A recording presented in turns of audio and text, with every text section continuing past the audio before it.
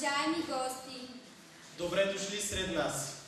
тази година е провъзгласена от Папа Бенедикт XVI за година на вярата. И ние се събрахме тук, за да изживеем по един особен начин нашата вяра. Ние вървим пълни с надежда. Ние бродим в мрака. Ти ни срещаш във времената. Божи син за нас си ти. Кредо Домине. Вярвам. Нека дадем думата на енорийският свещеник отец Димитър Димитров.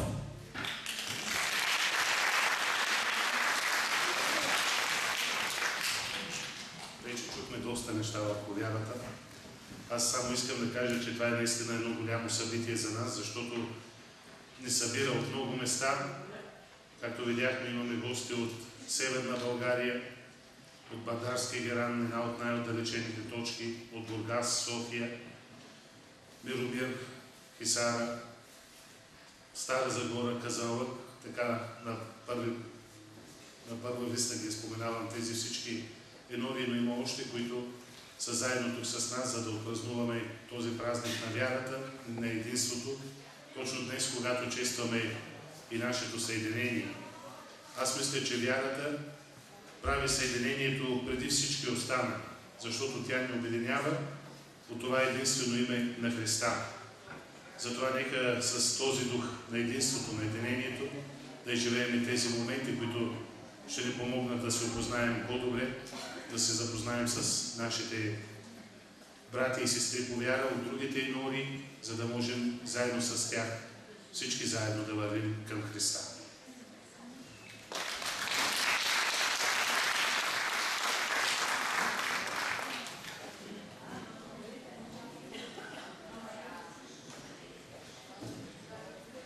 Пейте Господа песен нова, пейте на Господа цяла земя, възхвалявайте го всички народи. Следва фолклорен поздрав от танцов състав Слав Бойкин, град Раковски.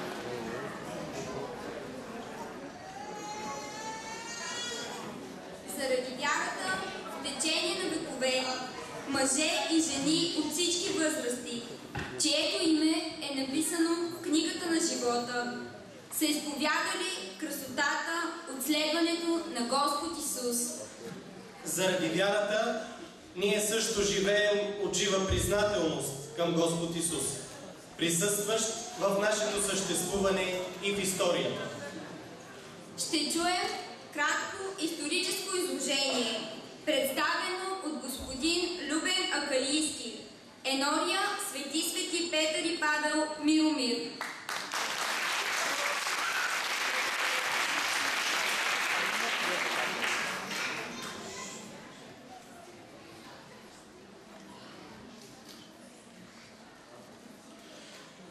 Уважаеми присъстващи, гости и жители на град Раковски, ще се постарая в рамките на няколко минути да ви запозная с католическата дейност в България от 17 век до наши дни. В 864 година България приема християнството в православната му форма от Константинополската патриаршия. Преди това хан Борис кореспондира и с папа Николай, за да прецени дали не е по-изгодно да приеме католицизма. В по-ново време католическата църква има свои структури в България от 1565 година. Големият историк на католиците Никола Милев говори за три вероисповедни елемента, към които е насочена усърдно подетата мисионерска работа на отците францисканци, дошли за първи път по тия места като постоянно действаща мисия, съгласно общите постановления за разпространение на вярата от Триденския събор. 1545 година.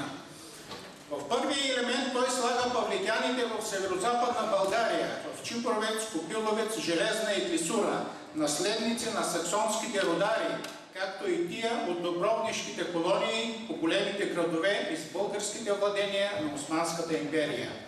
В кръга на втория попадат павликяните по течението на река Осъм, от Дунава до Стара планина и тия в Пловдивско. Накрая е идвало и православното множество, но там големи надежди немо не, би, не били възлагани. В по-ново време католическата църква има свои структури в България от 1565 година. Павликяните остават сред вековете основа на най-старата, най-голяма и устойчива общност на католиците от западен обред в България. На тях е положено реално и носена във времето структурата на католическата църква от западен обред по българските земи до възникването и на католическата църква от източен обред през 1860 година. Покръстването на павликаните от Северна България започнало малко преди 1610 година, а тия в Южна България малко по-късно и завършва за около 50 години. През 1643 година, по предложение на архиепископ Петър Богдан, конгрегацията създава Марцианополската архиепископия с постоянно седалище до Ростол, Силистра. През 1648 година се приема за по-уместно да бъдат обособените в отделна епархия и така се учредява Никополската епархия с епископ Филип Станиславов. Чипровското разорение нанася тежък и трудно преодолим удар върху католическата църква по българските земи. Ако след възстанието до края на този век за по-голямата Софийска епархия се споменават 40, 14 духовници, в Никополската по това време са известни само двама. Едва през 1721 година става възможно да бъде назначен добровничанинът Марко Андриаши за четвърти епископ на Никополската епархия. Поради назначението му за Софийски архиепископ през 1725 година, на негово място е въздигнат в епископски сан през 1728 година Никола Станиславич, братовчет на Филип Станиславов. Поради гонение от страна на турците през 1737 година Станислав, Станиславич заедно с 300 семейства от епархията побягват в Банат. През 1776 година за Никополския епископ, епископ е ръкоположен Павел Гайдаджийски, наречен още Дованлията, по името на родното му село Дованлии, Пловдивско. Първоначално епископът установява седалището си в Белене, а после в Русе и накрая в Букуреш. Францисканците наново подемат работата си в България в средата на 19 век, когато им е поверена Южната Пловдивско-Софийска епархия. По време на управлението на 13-тия Никополски владика Анджело Парси през 1848 година католиците добиват право да строят църкви и в годините през 1852 и 1860 са въздигнати храмовите в Лъчени, Ореш и Белени, посветени от самия него. Силата на предписанията за религиозните свободи от 1856 година в Букуреш биват поръчани и първите камбани в епархията, две за село Белене и по една за Трънчовица и Лъчени. През 1857 година епископът поръчва още две в Виена, които подарява на село Ореш. В началото на 1883 година, начало на Никополската епархия става монсеньор Аполит Луи Агосто. Монсеньор Агосто развива голяма дейност в Светосвобожденска България. Основава семинария в Русе и с негова помощ са построени църквите във Варна и новосъздадените католически села Драгомирово, Бартарски Геран, Гостиля и Асеново. Урежда католически гробища в Русе, където с негово съдействие е построена през 1890-1991 година и катедралната църква. Починал в Белени на 3 декември 1893 година на 55 годишна възраст.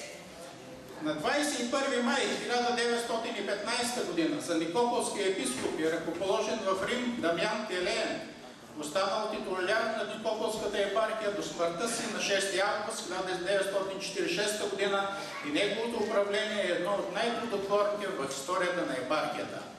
За нов 20-ти апостолически администратор в Северна България след смъртта на епископ Телеен е избран отец доктор Евгений Босилков.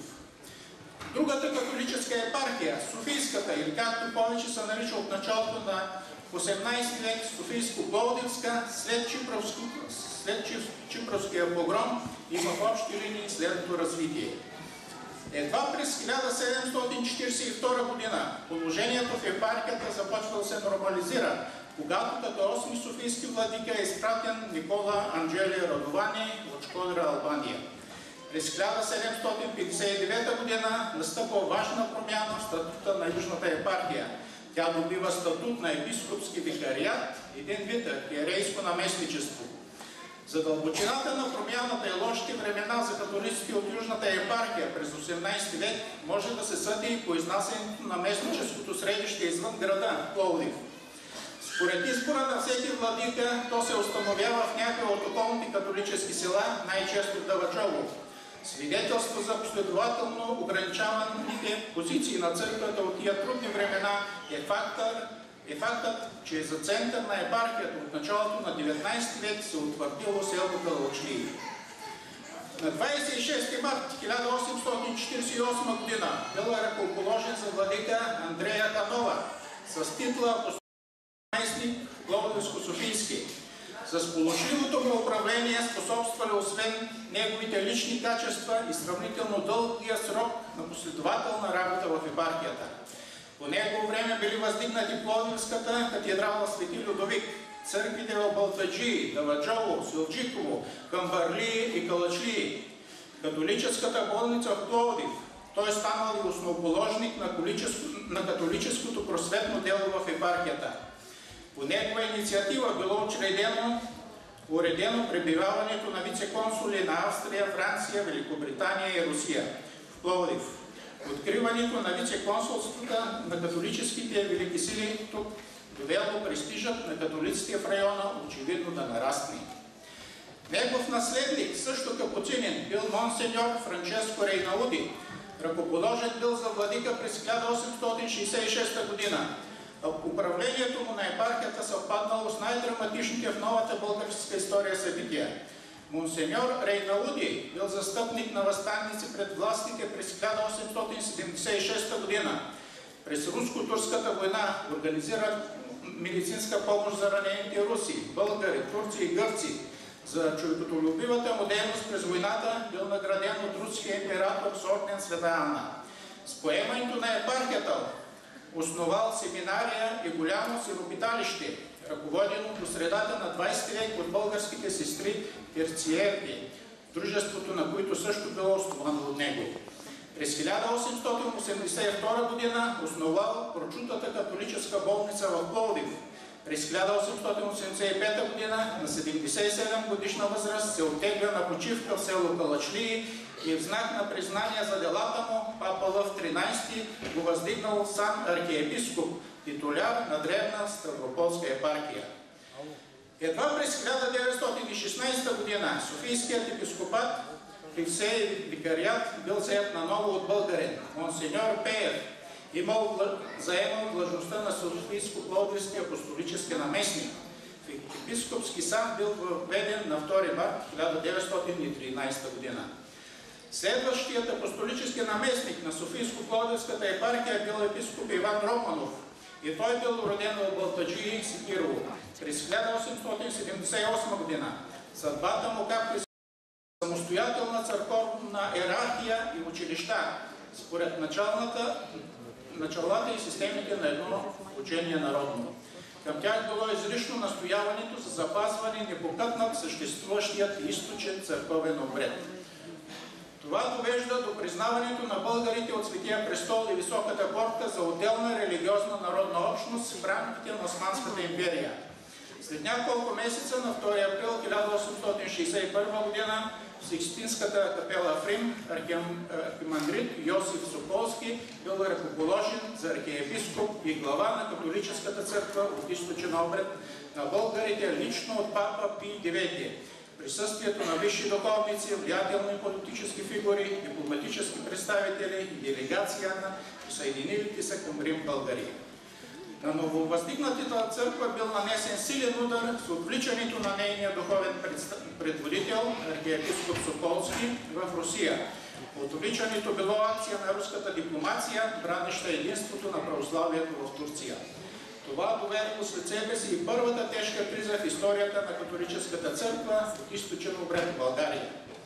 След поредица неуспешни опити да бъде въздигнат висш иерарх на 1 ноември 1865 г. Рафаил Попов бил избран за епископ. За епископски център се определил Одрин. Началото на управлението на монсеньор Попов може да бъде прието за втори период от историята на католическата църква от източен обред който продължил до войните Балканската и Първата световна. На 25 април 1925 година, 10 дни след атентата в църквата Света Неделя, като апостолически делегат в България пристигнал монсеньор Жозепе Анжело Ронгали, бъдещият български папа Иоанн 23. Начало на църквата бил възведен монсеньор Кирил Куртев, едно от най-ярките имена в нейната история, за времето на цялостното и съществуване. На 5 декември 1926 г. в Рим той бил ръкоположен за титулярен епископ и апостолически екзарх на католиците от източен обред в България. Католическия режим, комунистическия режим поставя рязка граница в историята на католическата църква в България. През 1952 година срещу повече от 40 души, сред които висшето духовенство и свещенството на католиците от двата обреда, бил организиран съдебен процес по обвинение в участие в шпионска и заговорническа католическа организация. Процесът завършил с 4 смъртни присъди, множество други и срокове затвор и пълна конфискация на имуществото на католическата църква на свободното и развитие наложили тежки ограничения. Миромир или старото му име Даладжово е първото католическо селище в Южна България. Първите семейства са дошли от северните африкански села Беляни, Трънчовица, Ореш и Малчика и започват да се преселват в далечната 1608 година. като тези първи преселници още не са изповядвали католическата вяра. Приемането на католицизма е станало малко по-късно, около 1620 година. Всеизвестно е, че по-голяма част от българските католици са потомци на древните павликяни. Въпросът за етническия происход и състав на, на, на нашите павликяни е сложен и труден и по него съществуват различни мнения. Най-вероятно е становището на Милетич, според когото павликяните са същински българи, сред които е бил претопен малобройният чужд етнически елемент. От чуждия етнос е останало само името павликяни, което още веднъж показва, както пише Милетич, как едно нищожно малцинство, първи основатели на известна културна институция, успява да наложи своето име на грамадно мнозинство свои последователи от друга раса. Важен аргумент в подкрепата на тезата за българския происход на павликяните са техните чисто български лични имена, които по писмени документи са проследяват до 4 столетия назад. Павликянството е било религиозно убеждение, а не народност.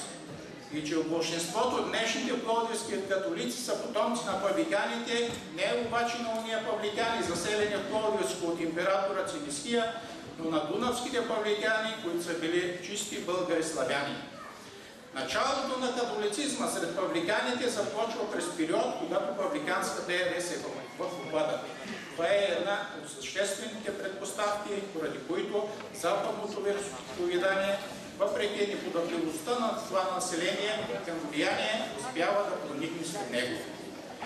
Между всички католически села в Южна България, село Даваджово, както казват и по-горе, има завидната слава на първо приело новата вяра. Преселниците преминават през Троянския проход.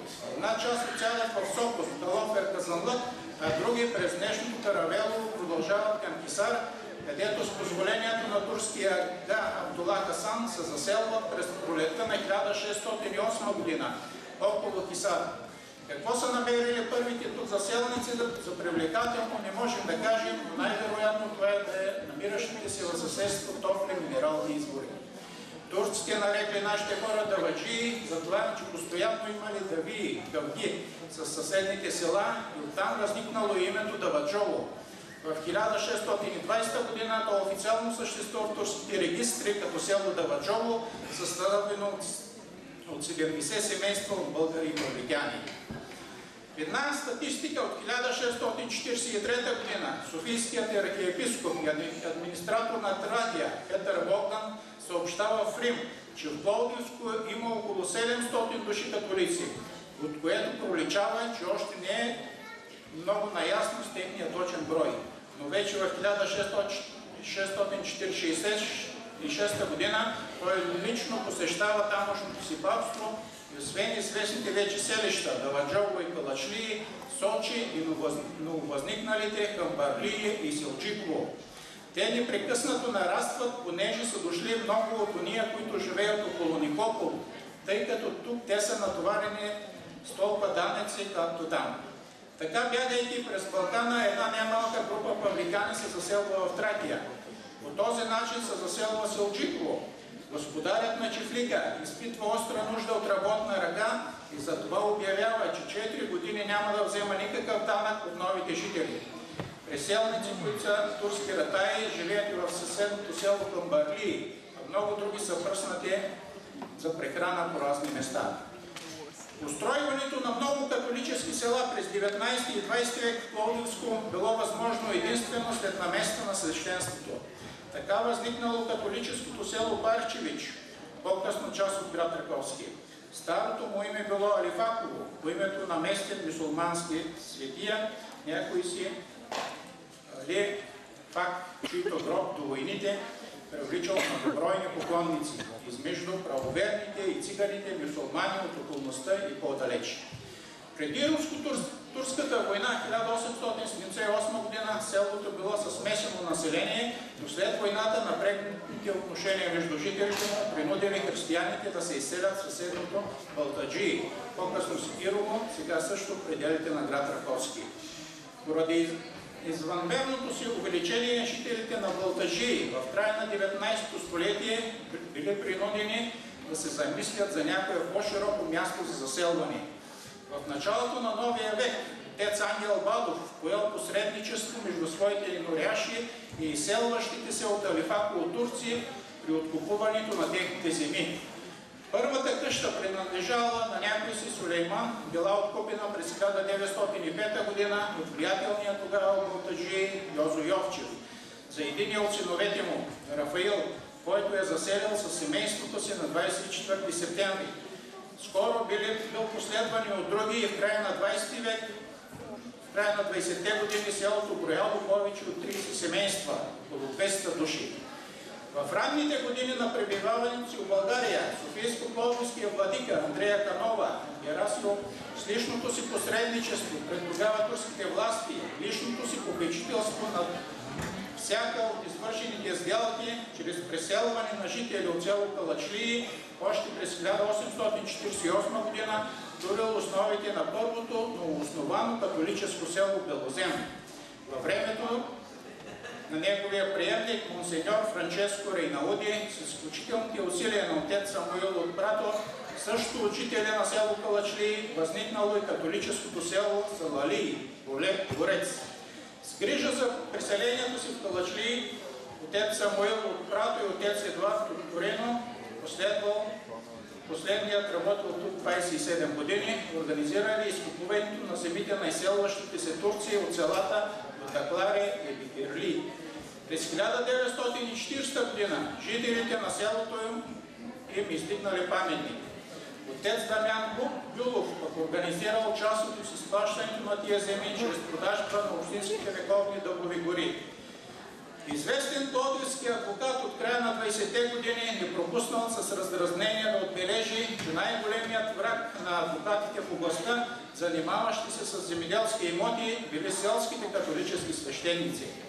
Смисъл за бъдещето отец Козма Гълов направил постъпки в началото на 40-те години за присъединяването на Южна Добружа към България, правителството да уреди землища за заселване на нови католически села там, поради прекомерното разрастване на селищата в Южната епархия.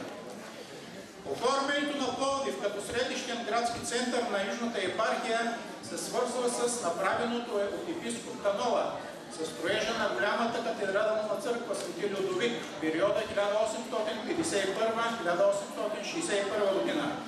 Епископът предприема и стратегически ход за оформяне на цял католически квартал. Освен на църквата, той предприел изграждането и на други сгради. Построил манастир за българските сестри терциарки, на които поверил образованието и възпитанието на католическите момичета. Дело, което първоначално било поверено на сестрите Свети Йосиф от Марсилия. Построил и училището Свети Андрей за момчета, но не е само това. Монсеньор Канова откупувал местата, обграждащи тези институции и ги отстъпвал на католиците да се построят жилища, а в последствие те постепенно се разплащали с църквата. Така само за най-бедните католици били построени около 40 къщи.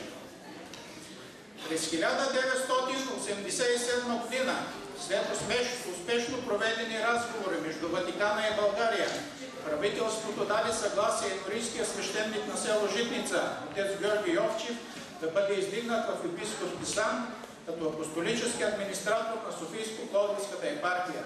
За целта от Ватикана пристига архиепископ Франческо Коласуоно, апостолически нунций за специални поръчения на Ватикана, който на 31 юли 1988 година извършва ръкополагането в катедралния храм Свети Людовик в Пловдив.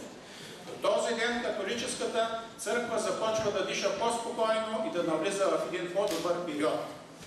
Започва, макар и сравнително бавен период на възстановяване на демокрацията в България.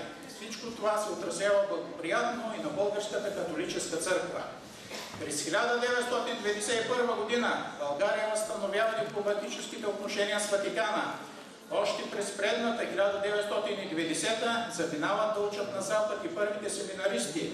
Пристигат духовници от монашески общности с традиции в България. Ръкополагат се нови свещеници. Отменя се текст от Закона за вероисповеданията през 1991 година и позволява на чужди свещенослужители да работят в България. Първата, първата католическа църква, построена от у нас след 1989 година е в град Пловдив, Свети Дух, квартал Тракия. Една част от имотите на католическата църква са върнати.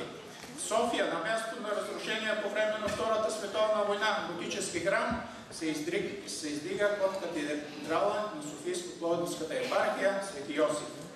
Францисканците изградиха своя монастирска сграда в град Раковски. Повечето инори се възстановиха и ремонтираха църковните и жилищните сгради. В Миромир, старата е полусрутена сграда на свещениците, с неимоверните усилия на инориста Дон Франческо Анджелужи, през 2000-2001 година бе преустроена в Вила Синем, център за срещи и духовна дейност на Софийско-Плодивската епархия. Наследника на Дон Анджелуджи, отец Димитър, продължи делото и през 2003 година направи пълен вътрешен ремонт на църквата Свети Свети Петър и Павел. Бе оформена паркова част с много цветя, водни каскади, красиво оформени алеи. Приземието на Вила Сихем бе направена капела, малка църква за студентите дни, обзаведена от отец Димитър с много вкус, старата стопанска сграда успешно бе преустроена от Дон Франческо в Заламир. Закупи се имот в град Кисара, където се изгради нова църква на Светото семейство. Не по-малко се направи и по другите католически села от епархията. В Дованли бе възстановен от реституиран имот. Голямата дълга постройка бе разпределена в зала за срещи, за карита, за гости. В съседство с църквата и тук Дон Франческо направи една зала, където младежите се събират на вероучение. В Калуяново църквата Свети Андрей Апостол бе съборена и на 7 май 2003 година бе направена първата копка и благословена от монсеньор Георги Йовчев строежа на новата енорийска църква. Същата бе осветена на 24 май 2004 година присъствието на много гости и жители на Калуяново. И тук бе изградена една красива сграда за калугерки и гости. Житница още в първите години на демокрацията бе построена прекрасна жилищна сграда за свещеника, приземието с голям салон за срещи и представления. Благотворителната организация Каритас разкри свои центрове по всички инории, като в Пловдив бе изграден централен офис на два етажа с всички необходими помещения за извършване на благотворителната дейност. Миромир бе открит лекарски кабинет. Не бих си представил как можеше всичко това да се постигне за един кратък период без активната и неуморна дейност на монсеньор Георги Йовчев. Няма да е пресилено, ако кажем, че процесите, които се развиват сред католиците българи през 16 и 17 век, изпреварват ренесанса по българските земли и много по-рано събуждат национално самосъзнание. Благодарение на католическите мисионери, просветата сред католическото население е на сравнително по-високо ниво, отколкото сред останалите българи. Увеличеният брой на католическите мисионери ги превръща в ръководители на църковното и училищното дело на българите католици. Една от първите грижи на чипровските епископи е да създадат в страната училища. Първото е открито от Илия Маринов в Чипровиц, а после почти всички павликански села. Създадените училища имат две задачи – да възпитават българите в народностно самосъзнание и стремеж към политическо освобождение и да показват предимствата на католическата вяра. Църковният събор, свикан в Чипровец през 1639 година, определя като едно от основните задължения на свещениците в България обучението на, на децата в инориите на четмо и писмо, избирайте младежи, които да продължат образованието си в Италия. Училищата се обучават както и послушници, монаси, така и по 6-8 деца на местни католици.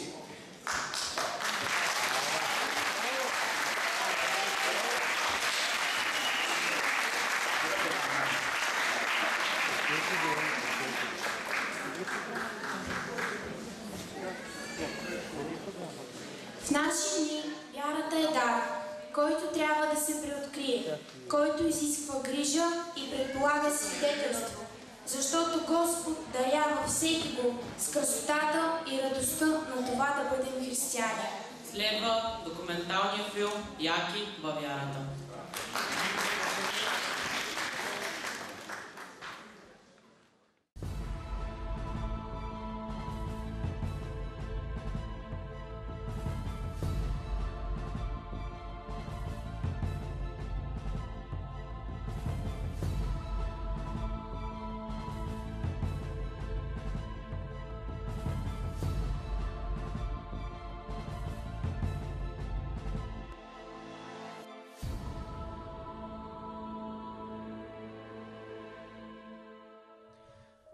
Когато дойде в областта на Кесария Филипова, Исус попита учениците си За кого ме смятат хората мене, сина човешки?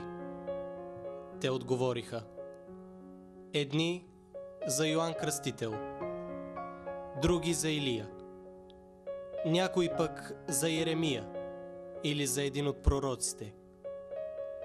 Каза им А вие за кого ме смятате? Симон Петър отговори Ти си Христос, Синът на живия Бог.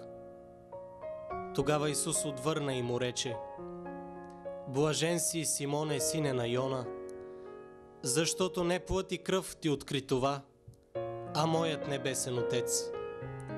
И аз ти казвам, че ти си Петър, и на този камък ще построя църквата си – и ядовите сили няма да й надделеят. Ще ти дам ключовете на небесното царство и каквото не простиш на земята, няма да бъде простено на небесата. А каквото простиш на земята, ще бъде простено на небесата.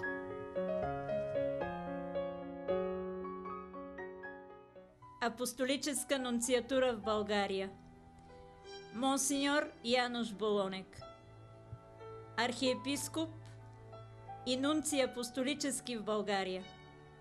Номиниран на 24 май 2008 година с седалище в София. Църквата в България е съставена от три епархии. Никополска епархия със седалище в Русе е за католиците от Северна България – Седалището на католическия Никополски епископ е в град Русе. През август 1648 г. Конгрегацията за разпространение на вярата назначава за епископ на Никополска католическа епархия Филип Станиславов. От епархията произхожда Блажени Евгений Босилков. Епископ на Никополската епархия е монсеньор Петко Йорданов Христов. Софийско-Пловдивска епархия със седалище в Пловдив е за католиците от Южна България. През 1979 г. папа Йоан Павел II реорганизира католическата църква в България и основава Софийско-Пловдивска епархия на мястото на викарията. От епархията произхождат свещениците мъченици Камен Вичев, Йосафат Шишков и Павел Джиджов – осъдени несправедливо на смърт по време на съдебните процеси срещу католически свещеници в България и обявени за блажени в Пловдив през 2002 година от папа Йоан Павел II по време на апостолическото му посещение в България. Епископ на Софийско-Пловдивската епархия е монсеньор Георги Овчев. Двете епархии са от западен римски обред – Апостолическа екзархия със седалище в София е от източен славянско-византийски обред под пряката юрисдикция на Светия престол, откъдето и апостолическа. Апостолическият екзарх отговаря за католиците от източен обред, които следват славянско-византийска литургична традиция в границите на България. Апостолически екзарх е епископ Христо Пройков. Софийско-Пловдивска епархия. Пловдив. Катедрален храм Свети Лудвик, в който служат отец Стефан Манолов, ръкоположен на 2 септември 2000 година. Отец Любомир Венков, ръкоположен на 21 август 1994 година. Отец Недел Чуначев, ръкоположен на 22 ноември 2008 година. Енория Свети Дух, квартал Тракия, с енорист отец Младен Плачков, ръкоположен на 28 юни 2008 година. Ордена на капуцините е едно от семействата на францисканите, които искрено желаят да реализират примера на живота на свети Франциско Тасизи. Първите отци капуцини са пристигнали в Пловдив от Италия през 1841 година. Днес братята капуцини служат на енориите в София, Белозем и Бургас. Раковски, Енория Пресвето сърце Исусово, генерал Николаево, енорист отец Димитър Димитров, ръкоположен на 28 юни 2001 година. Енория Свети Архангел Михаил, Секирово. Енорист отец Румен Станев, ръкоположен на 11 септември 1999 година. Заместник енорист отец Борис Стойков, ръкоположен на 16 юли 2005 година. Парчевич. Едно непорочно зачатие служи орденът на малките братя францисканци, конвентуалци, който е братска общност от монаси, свещеници и братя. Борец Енория Свети Антон от Падова Енорист Отец Димитър Димитров. Житница Енория Успение Богородично. Енорист Отец Христо Табаков Ръкоположен на 14 септември 2003 година. Калуяново. Енория Свети Андрей Апостол. Енорист Отец Иван Топалски. Ръкоположен на 29 август 1998 година. Заместник енорист Отец Петър Кьосов Ръкоположен на 21 август 1994 година. Дуван Ли Енория Прескръбна Дева Мария. Енорист Отец Иван Топалски Миромир, Енория, Свети Свети Петър и Павел, с филиална църква Светото семейство. Енорист отец Милко Топалски, ръкоположен на 16 юли 2005 година. Апостолическа екзархия. София. Катедрален храм и Енория Успение Богородично.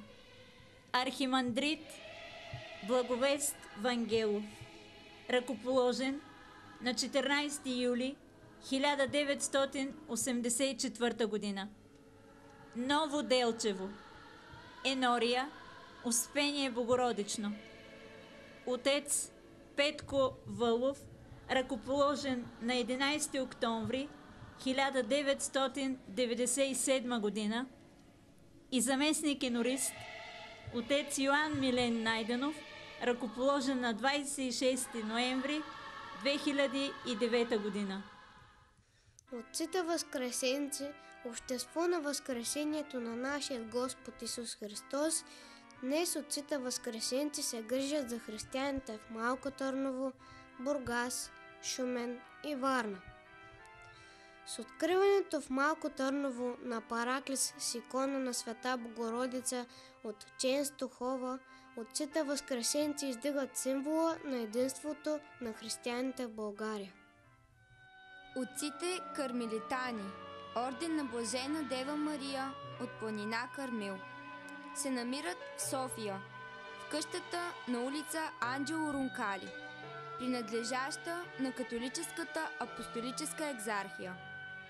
Този дом, в който 7 години е живял монсеньор Анджело Джузепе Рункали, папски представител в България и бъдещ папа Йоан 23 е предоставен за пасторалната дейност на общността. Салезяните на Дон Боско присъстват в България от 1994 година. Седалището им е в град Казанлък. Освен работата с деца, обслужват пет енории в Стара Загора, Ямбол, Правдино, Гранитово, Присъдец и помагат в социалната сфера, заради която учредиха фундация Дон Боско България.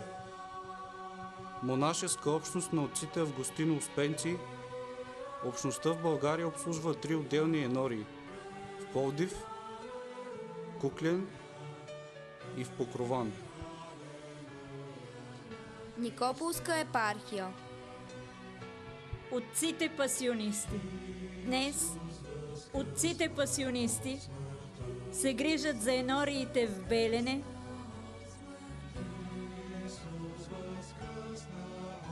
Русе, Свищов,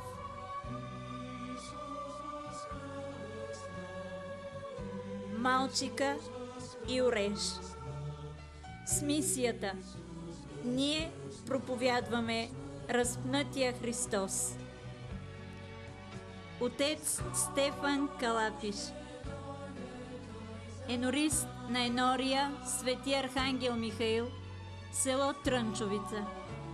Ръкоположен на 5 май 2007 година.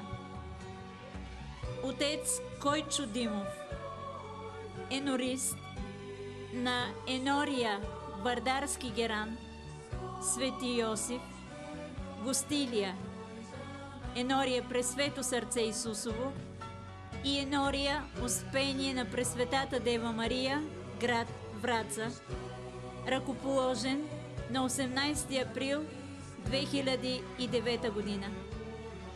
Отец Страхил Каваленов, енорист на град Велико Търново, Енория Дева Мария на Броеницата и град Габрово, Енория Блажен Евгений Босилков, ръкоположен на 18 април 2009 година. Отец Пламен Гечев служи във Видин в църквата Христос Спасител. Орденът на малките братя францисканци конвентуалци служи в град Плевен, Енория Дева Мария от Фатима и село Асеново, Енория Света Троица. Религиозните общности на сестрите присъстващи в България, които разпространяват благата вест на Евангелието чрез молитва, пасторална дейност, образование, социална грижа за бедни, болни, възрастни и емигранти, актуално са Сестрите Винкентинки в Пловдив, Ореш, Малчика – Сестрите на майка Тереза в Пловдив, София и Варна.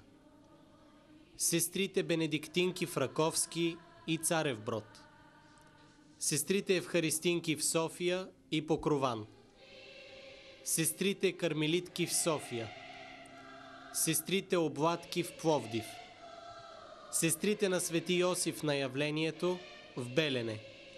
Сестрите пасионистки в Русе и Свищов сестрите францисканки Фраковски и Житница. Мирски движения в София. Фукуари. Комунионе е либерационе.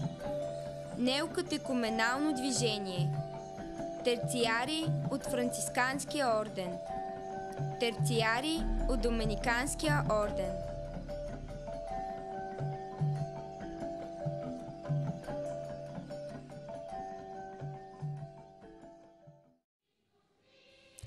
Папа Иван 23 обявява свикването на Втория Ватикански събор на 25 януари 1959 година. По време на седмицата, определена за молитва за обединението на всички християни. Тържествено откриване на събора на 11 октомври 1962 година по случай откриването на събора площада Свети Петър беше пълен с верни, които въпреки, че не разбраха напълно теологическото значение на това събитие, усещаха неговата историческа важност и се събраха на мястото, което символизира католицизма. С силни викове повикаха папата, който се показа на прозореца и изказа своята радост за откриването на Втория Ватикански събор. Скъпи чеда, чувам вашите гласове. Аз имам само един глас, но той е гласът на целия свят. Тук е представен целият свят. Може да се каже, че дори луната се разбърза тази вечер. Погледнете я там горе. И тя гледа този спектакъл. Като се върнете вкъщи, ще намерите децата си. Погалете вашите деца и им кажете, това е прегръдката на папата. Ще намерите и сълзи, които трябва да подсушите. Кажете една добра дума. Папата е с нас, особено в тъжните моменти.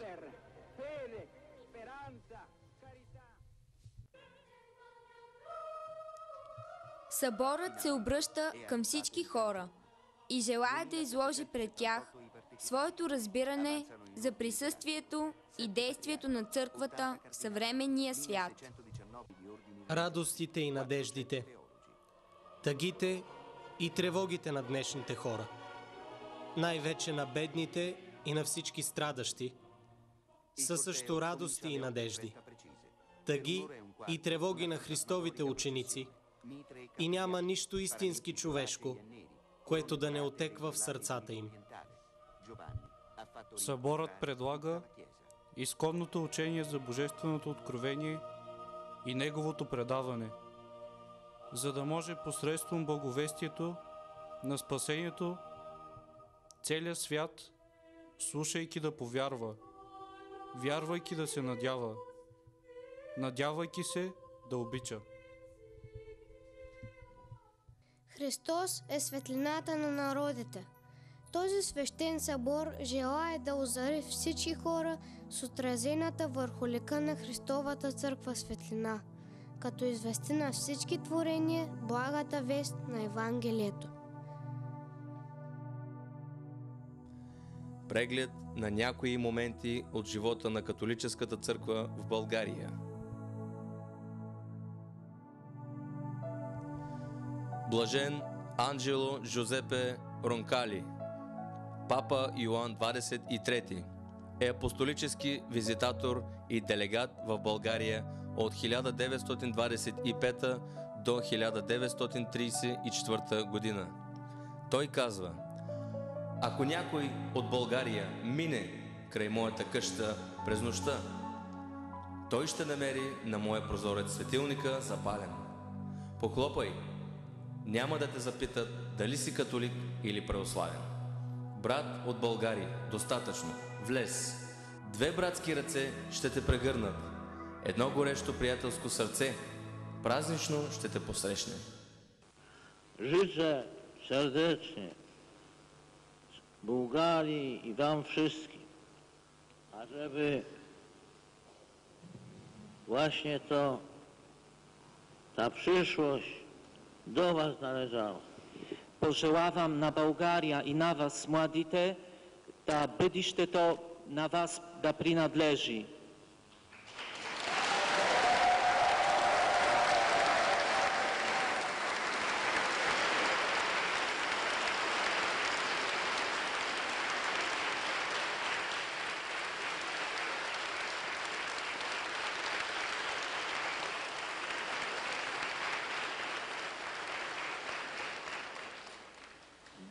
Was należy jutrzejszy dzień.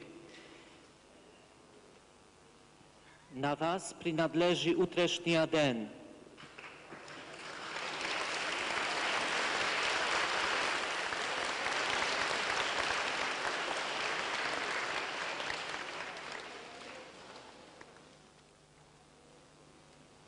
Życzę Waszemu narodowi, ażeby ten dzień jutrzejszy był jak najlepszy.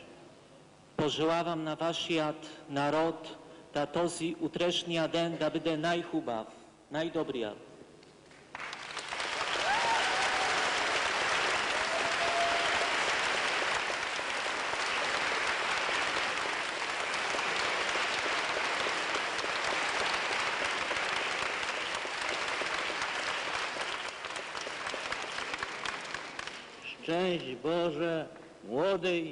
Bułgarii.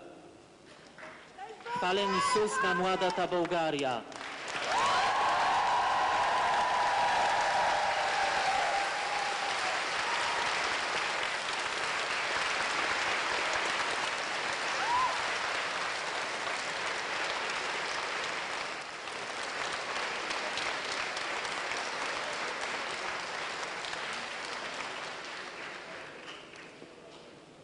Прегръщам всички вас любов и ви благославя.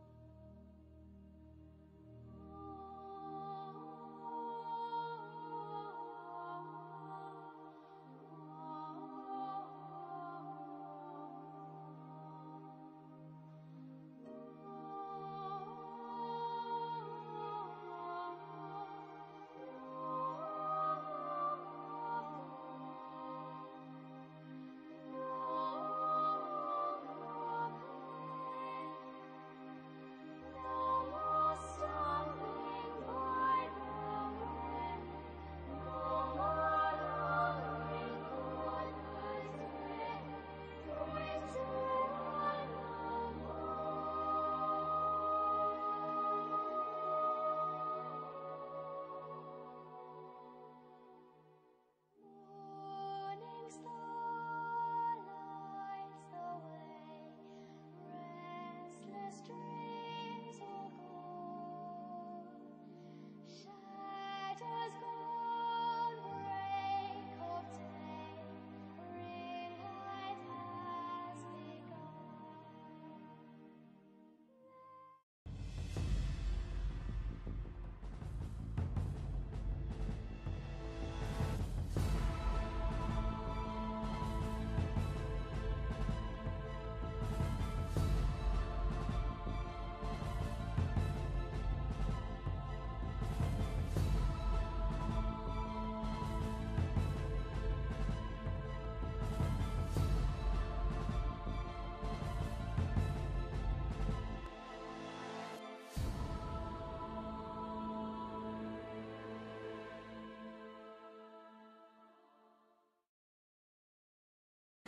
Време да обърнем поглед към Исус Христос, началника и завършителя на вярата.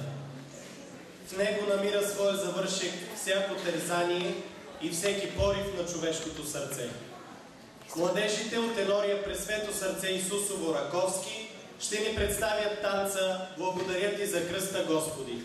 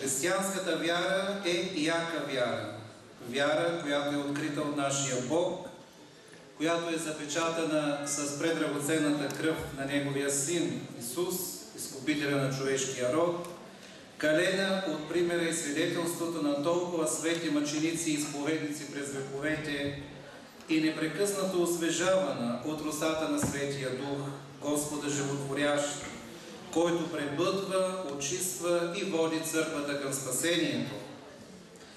Наистина това скъпо съкровище, нашата вяра е яка и силна, несломима и винаги побеждаваща. Нека да си зададем всички въпроси и да се опитаме да отговорим накратко какво значи да вярваш. Светият отец Папа Бенедикт XVI казва, че да вярваш означава в мрака на света да докоснеш Божията десница и вече докоснат от благодата да чуеш Неговото Слово и да видиш любовта Му. Всъщност, Бог е посял семето на вярата в нашите души още в деня на нашето кръщение, когато сме били докоснати в тъмнината на света от Неговата благодат и сме били приети за Негови чеда. С вярата сме прегърнали Бога, усетили сме Неговата бащина милувка, с вярата човека от скитник е станал син или дъщеря на Бога, Божие дете, и душата намира този покой, този мир, който идва от Христос, понеже е озарена от светлината, която Светия Дух щедро излива, за да прогони всеки мрак, да прогони мрака на света.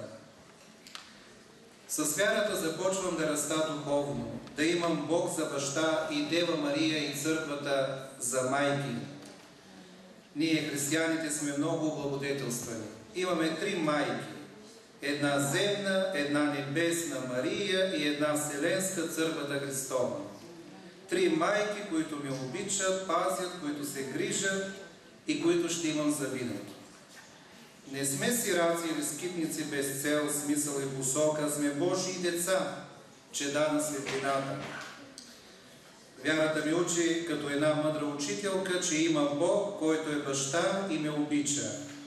Вярвай в Бог, а Бог е любов, Бог е живот, казва Библията. Тогава да си вярваш означава да обичаш живота, след като Бог е любов и живот. Да обичаш истински живота, като го пазиш за възкресението и вечния живот. Вярата ми казва, вярвай в Божия Син Исус, който Отец прати на света като Спасител. Спасител, когато срещам жив в църквата на Светото Причастие. Вярата е среща с Спасителя, с спасението на човека от врага на човека, от брака на света. Вярата ми казва, вярвай в Светия Дух, който бе излят в нашите сърца, който запечата вярата от Тебе с кризманието, а Светия Дух е сила Божия. Следователно, вярата е сила в живота. Кой запали тази свещ в моя живот? Кой ми даде тази светлина, която да прогони мрака? Само Бог. Началника и завършителя на вярата, казва посланието до евреите, Бог направи от мен като една запалена свещ, която да гори, като горящата и неизгаряща капина на Синайската планина, понеже тази свещ гори с Неговата любов в сърцето, а тя е вечна. Ние сме светлина на света, понеже сме запалени свещи в мрака на света. Да светне тази светлина. Вярата ни дава тази светлина, тогава да обобщим да си вярваш, означава да обичаш и пазиш живота, който не познава смърт, да срещнеш Спасителя като твой брат, да имаш силата и светлината на духа. Нашата вяра е като един подарък, който сме получили без да сме го заслужили. Но каква изненада! Когато отворим този подарък, вътре откриваме нов подарък, в него друг. Благодат въз благодат. Почти като известните кукли матрешки. Подарък след подарък. На Бог му харесва да ни прави тези щедри подаръци, понеже Той е една безкрайна, чиста любов, с която обича всеки човек. Свети Павел казва в първото послание до Тимотей, 2 глава, 4 стих, Бог иска човеците да се спасят всички и да достигнат до познанието на истината. Вярата е спасителната лодка, с която достигаме до истината и живота. И накрая, в своите мисли бележития френски философ Блес Паскал казва Християнската вяра има две основни истини. И за хората е еднакво важно да ги знаят и еднакво опасно и да не ги знаят. Първата истина – има Бог, който могат да познаят. Втората истина – в човешката природа е заложена греховността, нашата нищожност. Еднакво опасно е за човека да познава Бога без своята нищожност, тогава ума се възгордява, или обратно да познава своята нищожност, но без да иска да познава Бога, тогава се ражда атеиста. И продължава Паскал. Необходимо е Божието милосърдие, за да разкрие на човека тези две истини, фундаментални в нашия живот. Ние, християните, ние от яката вяра, можем да познаваме едновременно, едновременно Бога и нашата нищожност, само чрез Исуса Христа. Нашият Бог не е висше същество, самозатворено, изолирано там някъде в висените, както се го представят по изкривен начин религиите. Но нашия Бог дойде като брат сред нас, изпълва с любов и отеха сърцето, кара всеки от нас да почувства своята нищожност и Неговото безкрайно милосърдие. Без Исус Христос, казва Паскал, светът не би могъл да продължи да съществува, или би трябвало да бъде унищожен, или да се превърне в ад. Исус каза на самарянката, че ще й даде живата вода, която блика за вечен живот. И тя почерпи от този свеж извор, от извора на спасението и стана вярваща и свидетелка на Христос. И сега Исус казва на всеки от нас, ако знаеш дара Божий, почерпи от този извор, почерпи от вяра. Вечер трябваше да изглежда по малко по-различен начин, но днешния ден ни предложи изненади, трябваше да сме и повече, но сме тази група, която виждате тук. Въпреки, че нашата енория е доста по-голяма. Започваме нашия исторически разказ. Надяваме се, че за 5 минути ще се справим да ви представим първите, първите години от историята на Житница.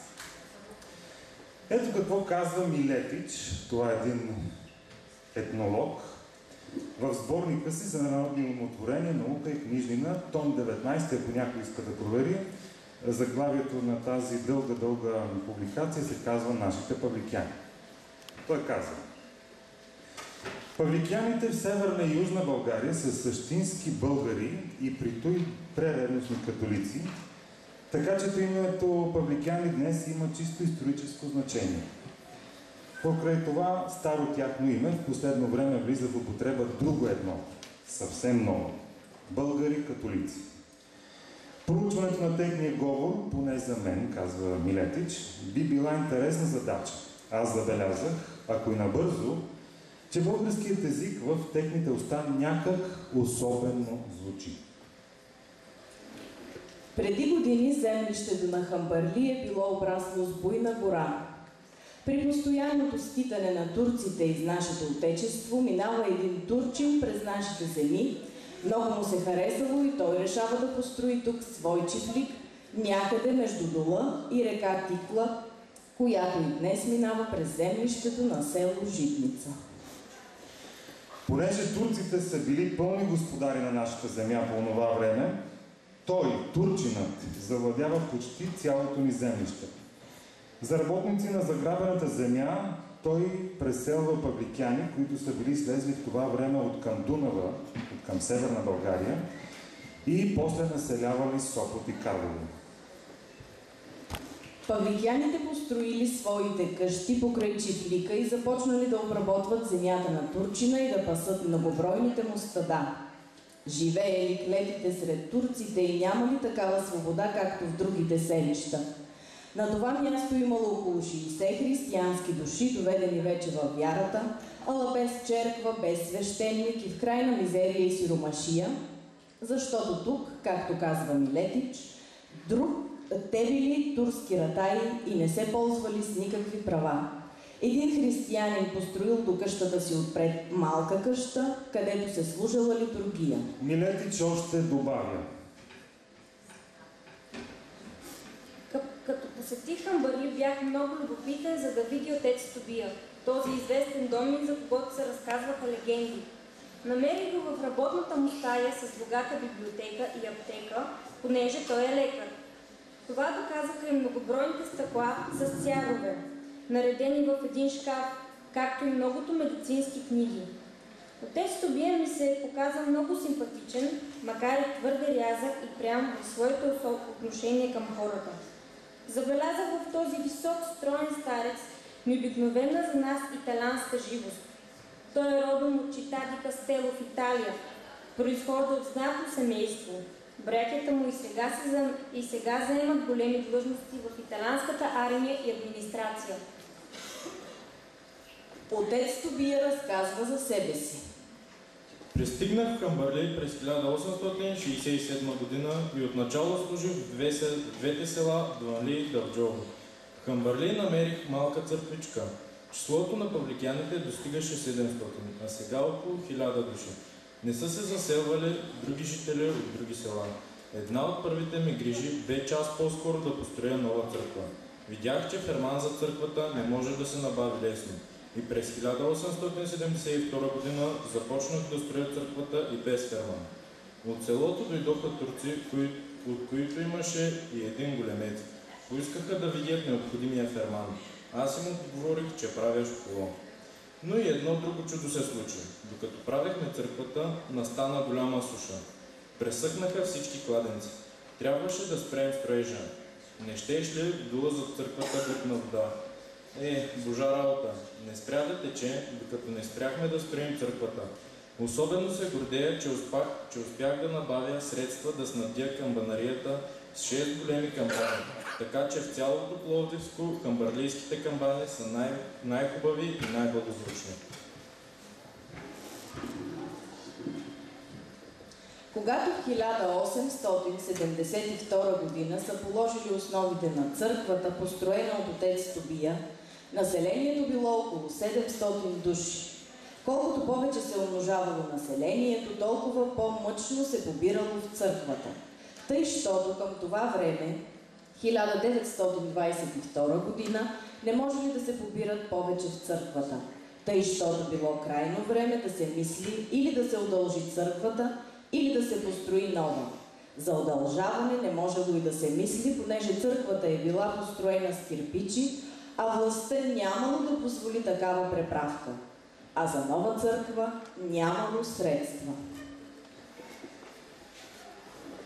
В едно общо събрание, свикано от енорийския свещеник, отец Валентин Делянин и помощника му отец Антон Йовчев, капуцини и двамата, населението решило да строи нова черква със средства, събрани от волни пожертвования.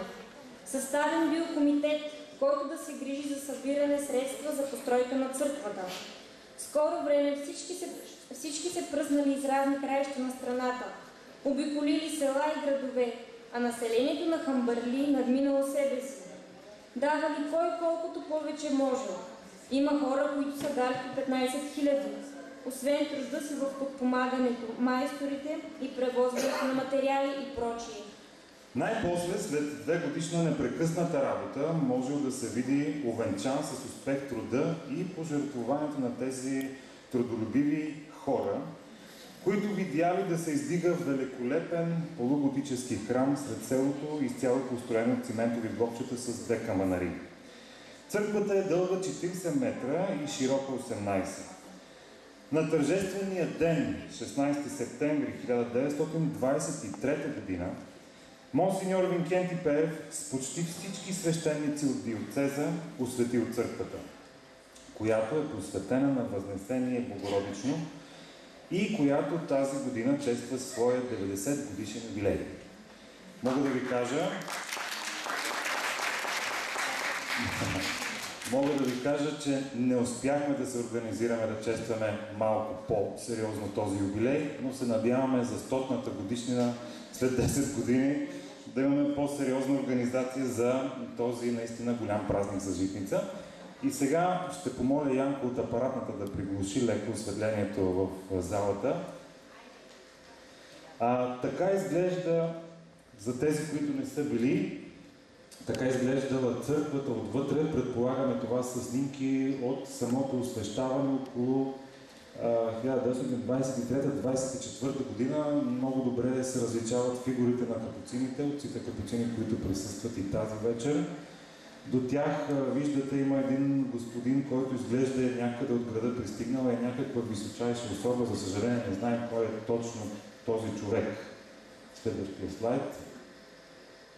Така изглежда църквата в днешни дни. Това е с манастира на една от нацистянки на Пресветото сърце Исусово, а, монахините, които работят и тук в квартала Генерал Николаева на град Раковски. Тук виждате някои от дейностите, които се извършват в нашата енория. А, имаме една доста интересна книга, написана от а, една житненка, от която книга извадихме няколко фрази. И за тези, които не виждат, ще прочета. Село, в което една от най-големите ценности са младите хора с отворени очи към света, градящи без умора и страдалия мост през времето. Това е параклиса на Лурска Дева Мария в центъра на Житница и още село, в което няма никога да разбереш, че Дина носи красивото име Елисавета. Деша се казва всъщност Надежда, Къна е Катерина. Английско звучащите Стивън и Питър са Стефан и Петър. Тано е Атанас, Дучо Людвиг, а носещия по паспорт име Франц може да е Чино, Чинко, Франц, Франца. Предполагам, че и при вас по подобен начин звучат тези имена. Село, в което попадайки за първи път си мислиш, че ти трябва преводач, защото така и няма да разбереш какво е това обесито до палатурет. Сигурно разбирате.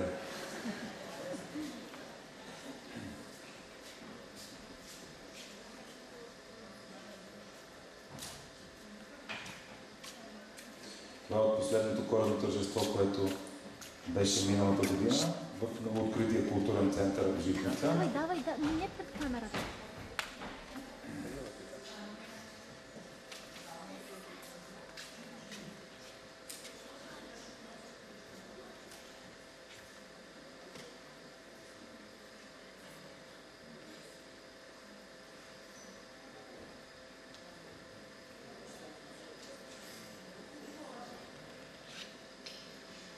Това са някои картини. Ето така изглежда житница от високо.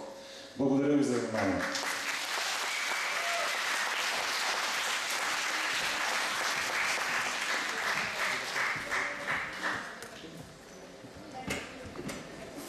Аз съм белязан от края време със знака на Изкупителя, който от хълма Курковадо обхваща света с любовта си.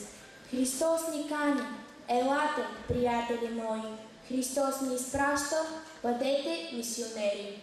Каним на сцената Енория, Света Анна, Отрил, Малчика.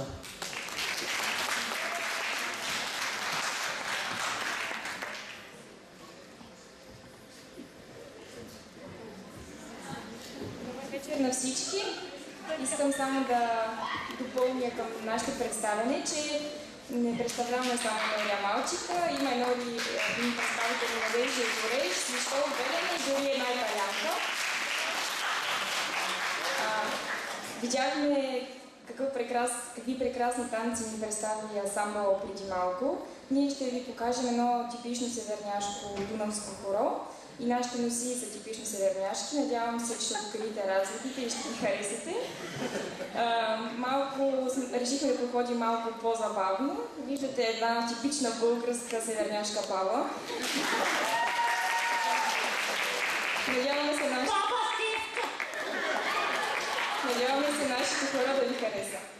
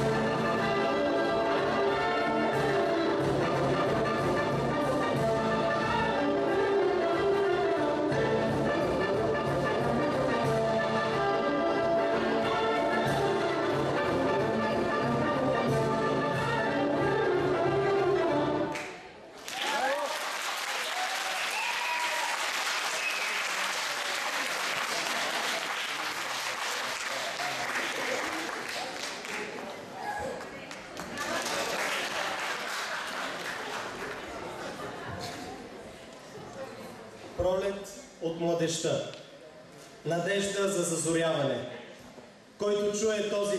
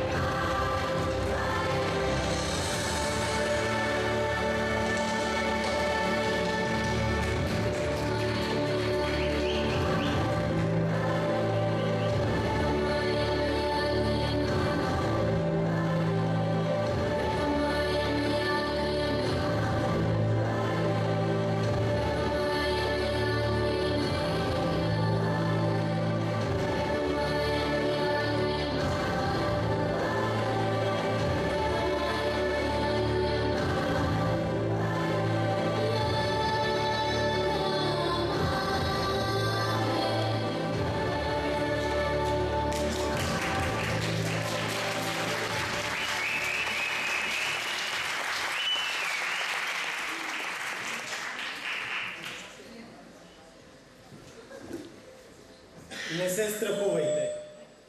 Отворете, т.е. разтворете вратите на Христос. Не се страхувайте. Христос знае какво има в сърцето на човека. Само Той го знае.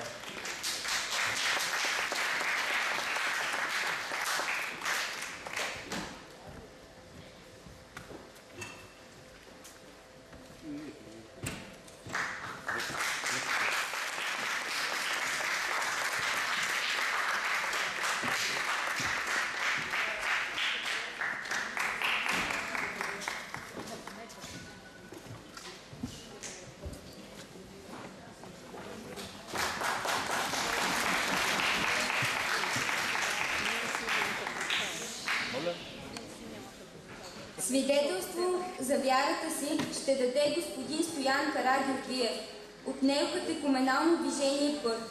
Енория, Свети Йосиф, град София.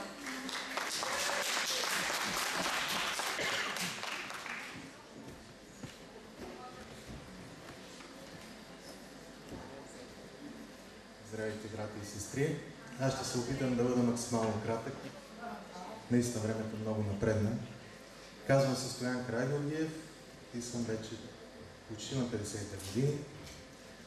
Роден съм тук в град Раковски, но последните 30 години живея в София, тъй че съм в Енория Свети Йосиф, също така се чувствам съпричастен и в Енория Архангел Михаил, както и тук в генерал Николаева. Когато наистина поискат от някой да даде свидетелство за вярата си, от опит знаем, че трябва да се даде някакъв пример, с който този човек трябва да се е срещнал с Бог, с живия Бог. Няма нужда да се правят философии, разсъждения, да се дават определения, а трябва да се каже къде и кога си срещнал Бог. Аз като всяко едно дете в град Раковски съм кръстен, получил съм първо причастие на помазанието, възпитаван съм в семейството си в вярата. И винаги са ме учили родителите ми да бъда верен към църквата, да бъда добър, послушен, както всички вас. От малък исках много да се занимавам с изкуство, исках да рисувам, да бъда добър художник. Тук в Раковски по това време беше много трудно наистина да получиш някакво, някаква подготовка. А, и благодарение на Бог, така или иначе аз успях да вляза по трудните времена около 80-та година в художествена гимназия. Мисля, че съм първият, който влезе в такова училище от града. Това беше едно училище за театрални кадри, което с голямо желание и стремеж за съвършенство да натрупам повече опит се върши. Малко по-трудно влязох в художествена академия, където в продължение на 6 години съм учил и съм завършил висше образование. През това време, естествено, трупах опит в изкуството, в живота. Пребирах се от време на време в Раковски, идвах на църква. Но и дойде един момент, в който усетих, че съм загубил онова, което бях получил тук. Тази вяра, надежда, усещане, че притежаваш любов към хората, към близките. Бях загубил желанието си дори да работя, да рисувам. Не виждах смисъл в той, което върших. И то след като бях постигнал доста неща, мечтите си вече почти ги виждах реализирани. Вече имах покупки, имах купени картини в национални галерии, в чужбина. Но, както казах, в един момент усетих една празнота в себе си, но една пустота, която ме караше да страдам. Не виждах смисъл да продължавам нататък. А, чувствах се почти мъртъв. Докато един ден, посещавайки Енория Свети Йосиф, малката църквичка, от Амвона чух един призив от едни италианци, които бяха дошли тогава. Това беше вече 82-90 година. И чух едни слова, които ме накараха да се събудя чух, че Бог ме обича такъв какъвто съм. По това време, както казах, аз почти не приемах себе си, не приемах никого около себе си. Чу, не чувствах никаква любов, а за един художник това е много страшно, защото изкуството това е любов. Ако ти не можеш да обичаш, няма как и да твориш. Това ме събуди и ме накара да присъствам на тези събиране на тези катехисти и да слушам тези катехисти и свещеници, които говориха за вярата, за истинската вяра, тая, която някъде я бях загубил. Тогава се знаех, че целият ми този живот до тогава е бил един нанес от събития, които Бог беше направил с мен. Аз вече го бях забрал, не го разбирах. Мислих, че това е плод на, моята, на моите качества, на моето его, на способностите ми. И така бях поканен да вляза в неокатекомуналния път и вече почти 20 и една-две години аз следвам този път. 1991 година посетих Ченстохова с много, може би, млади хора, които тогава, сега вече тук са възрастни. Много силно ме подейства това присъствие на толкова млади хора и този призив на папата и мотото, което беше на това събиране в Ченстохова, това, което и преди малко чухме. Това един отказ от послание до римляни, 8 глава, 14 стих, където се казва, не се страхуйте да бъдете свет. Това ме накара да се замисля от какво се страхувам и какво трябва да правя. Спомням си, че дълго се молих. Тогава Бог да ми покаже пъти. Върнах се в България, вече знаех, че трябва да се върна към корените си, към той, което там, откъдето бях тръгнал, към ценностите, които бях забравил. Продължих в пъти в положение на години, както казах, 20 години. След това се ожених. Имам съпруга, 4 деца.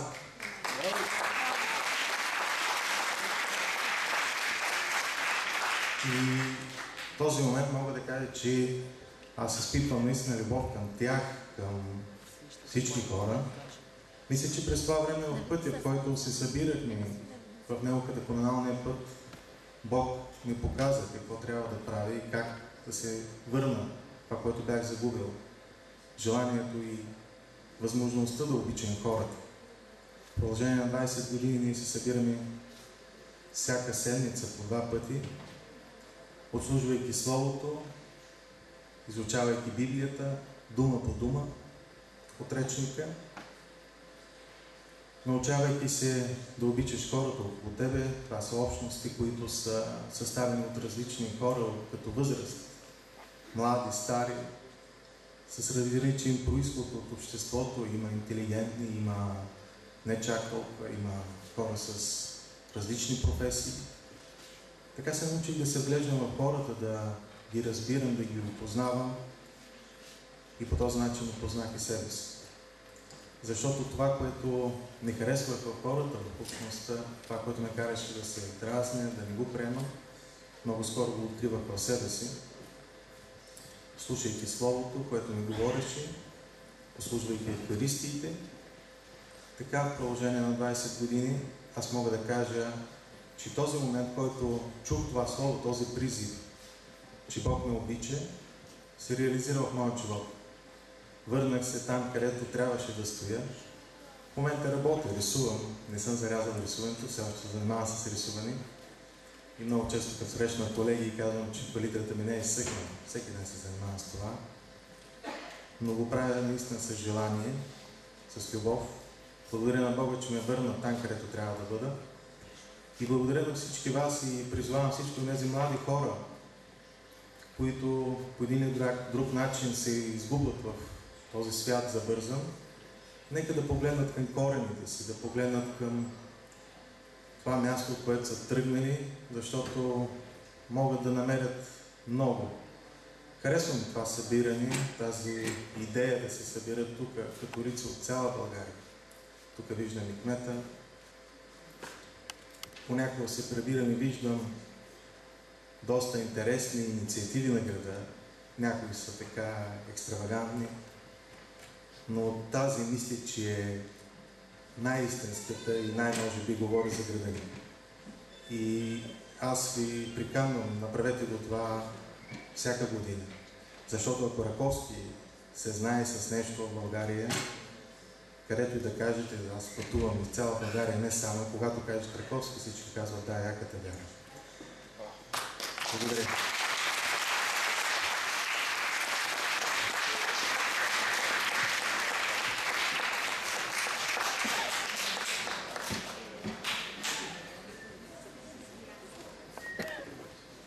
Господи, направи ми инструмент на Твоя мир, където е омраза, да носи любов, където е отчаяние, да носи надежда, където е неразбирателство. да носи единство.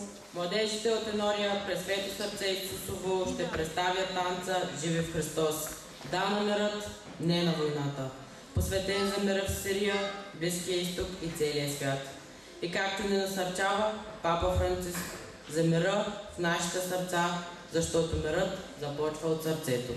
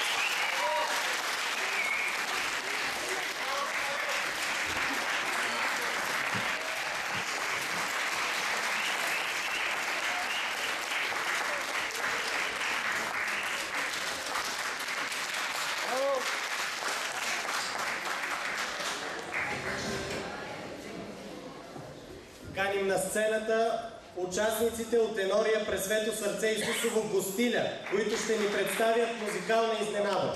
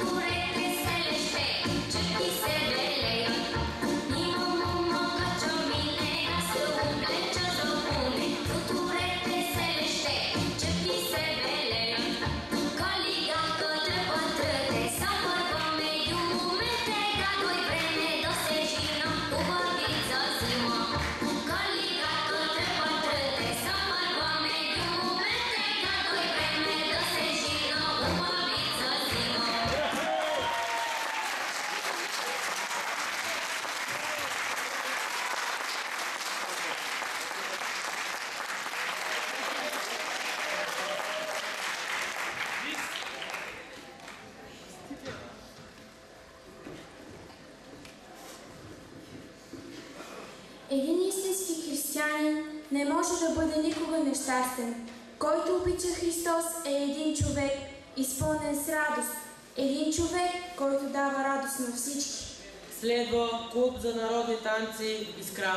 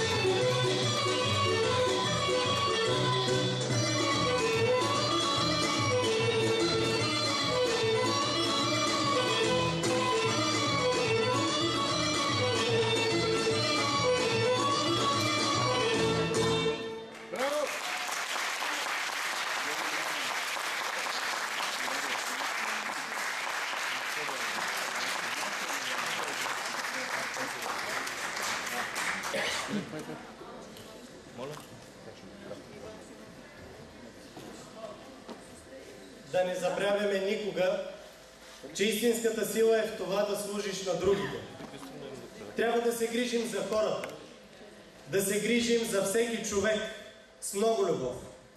По-специално към децата, към възрастните, към тези, които са по-слаби и много често са в периферията на нашето сърце. Нека поканим на сцената кмета на община Раковски, господин Иван Антонов.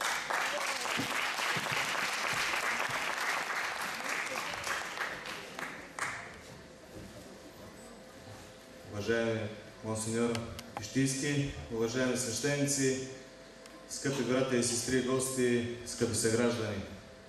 Днес България чества един от своите най-големи национални празници, а именно Съединението на, на страната. Смятам, че тази вечер, днес и с а, утрешния ден също, ние доказваме, че католиците в а, България са съединени. Искам да благодаря на всички гости, че уважиха тази наша покана за да се проведе за първи път такава национална среща на католиците в Раковски. За мен е истинска чест като кмет на този град да бъдем домакин на тази среща. Знам, че днешният ден беше доста изморителен за вас, но ви благодаря отново за това, че приехте нашата покана, че а, успяхме да разменим контакти, да видим своите традиции. Желая ви от сърце да сте живи и здрави и да вярвате в Господ.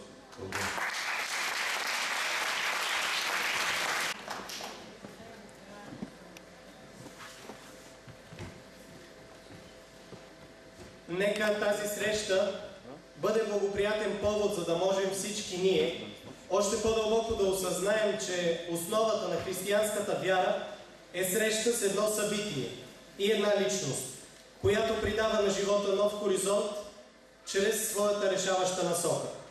Благодарим на всички вас, които взехте участие в духовно-артистичната програма. Следва последната част на бдението, която ще се състои пред пещерата на Дева Мария в Енорийския двор, където ще призовем Божията майка за мир по целия свят.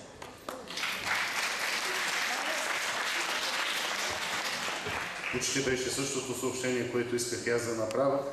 Искам да благодаря на господин Кмета както за тези думи, които каза, така и за цялото това съучастие благородно в а, тази хубава дейност, в тази хубава идея да направим тази среща тук. Както каза Оделе Стоян в своето свидетелство, нашия град може би е най-силен с това, най-характерен с това. И нека ние да поддържаме, може би не чак всяка година, но наистина често тези хубави традиции, за да става едно поле за среща, за съединение, за единство, които са толкова важни в нашето време. На всички благодаря за търпението. Видяхме, че най-яката вяра остана до края. Сигурно ние сме те, които сме. Сега ще отидем наистина пред Дева Мария, която е нашата майка, да я благодарим за тези хубави моменти и да се помолим за мир, особено в Сирия, така както ни призовава светият отец Франциск и също така за мир по целия свят. Това ще бъде последното официално събитие за тази вечер. След това неофициалните продължават през нощта.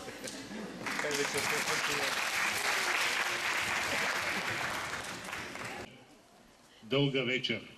Тук, пред това копие на Урската пещера, тази пещера, която е свързана с вярата на много наши братя и сестри по целия свят. Знаем, че от явлението през 1854 година насам Урт е едно непрекъснато място на посещение, на молитва, на духовност, на обръщане, на изцеление. Ние сме пред това копие на Уртската пещера, така че нека да искаме същото от Дева Мария.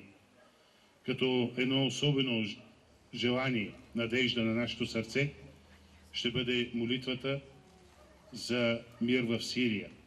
Знаем, миналата неделя Светият Отец огласи, че желае днешния ден, т.е. утрешния, който ще започне само след броени минути, събота да бъде посветен на молитва, на пост, на жертви за мира в Сирия. не е само мирът, който касае Сирия, е мирът, който касае целият наш регион и може би целият свят. Затова нека наистина от сърце да отправим тази наша обща молитва и нека чрез Дева Мария, нашата небесна майка, да бъдем чути. В името на Отца и Сина и Светия Дух. Амин. Според намеренията на Светият Отец Франциск за мир по света, Отче наш, който си на небесата, да се свети името Ти, да дойде царството Ти, да бъде волята Ти, както на небето, така и на земята. Дай ни днес на същия ни хляб и прости ни дълговете, както и ние прощаваме на нашите длъжници и не ни въвеждай в изкушение, но избави ни от злото. Радвай се, благодатна Мария, Господи с Тебе, благословена си Ти между жените и благословен е плодът на Твоята отроба Исус.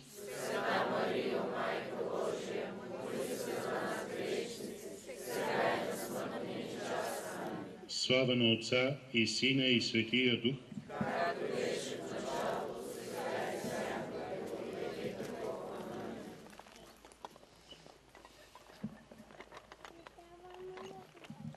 Молитва за мир в Сирия.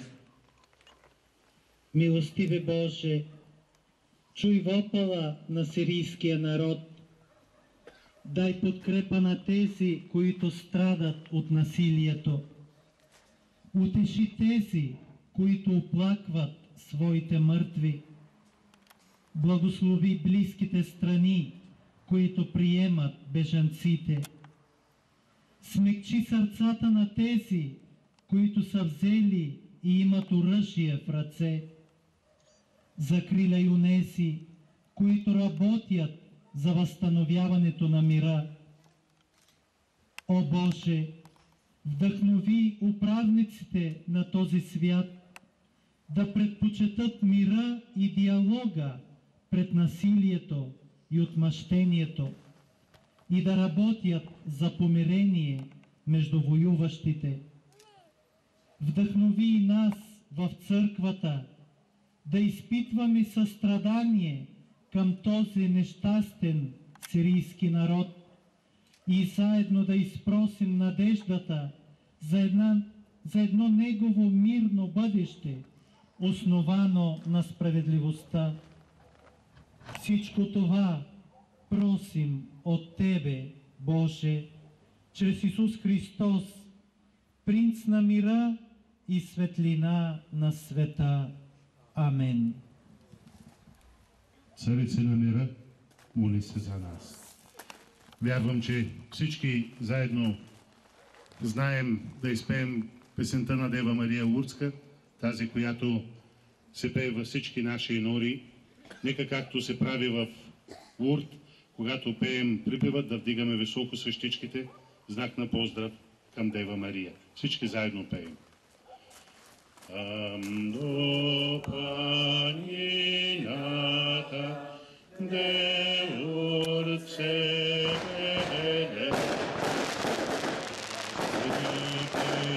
Thank you.